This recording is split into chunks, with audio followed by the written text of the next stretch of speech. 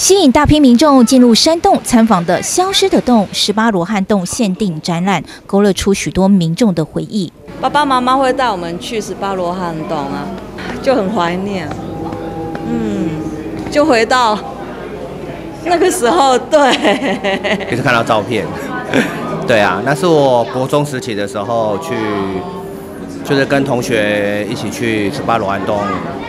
逛的那些场景，由在地年轻人组成的基隆怪奇团队，今年度推出《消失的洞》，开启消失事务所系列主题，要给基隆人美好的在地回忆。那我们这个基隆怪奇团队呢，它其实就是基隆在地有几个青年，我们一起组成团队。那就是在闲暇之余，我们希望可以在基隆可以做些什么。继之前我们有做实境游戏来认识基隆之后，我们今年就是做了一个消失事务所。原因是因为我们觉得这几年基隆的变化其实很大，有些东西其实在我们不知不觉中它就渐渐消失了。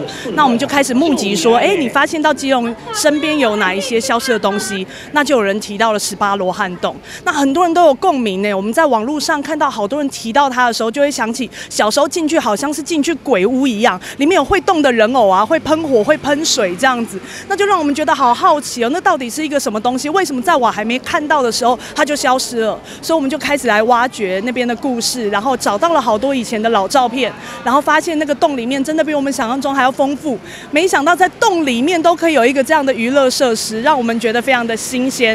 所以我们就决定来办一个展览，让这些呃可。可能还没来得及去看一眼的人来认识这个地方，然后也让一些人可能都不知道他已经消失的，可以好好跟他道别。那最终我们还是想要回归到，就是对于消失这个议题，你会有什么感受？你是会想要好好跟他说再见，还是会希望他重现、重新出现在我们的眼前？那主要是想要聊这件事情。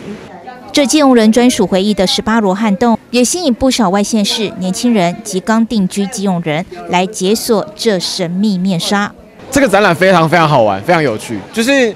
呃，防空洞应该是很多基隆人都会有感觉的，呃，闲置空间，刚好就是现在趁着就是怪奇怪奇团队他们来进驻，所以你会有你会你会有一个机会来一窥，哎，防空洞到底长怎样？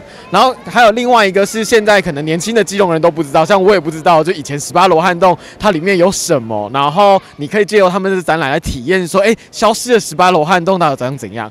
解开这谜团，活化山洞，再现十八罗汉洞的洞内风光。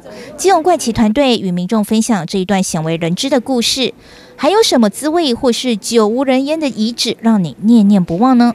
团队欢迎大家来分享，下次展出可能就是你投稿的正在消失或可能消失的人事物哦。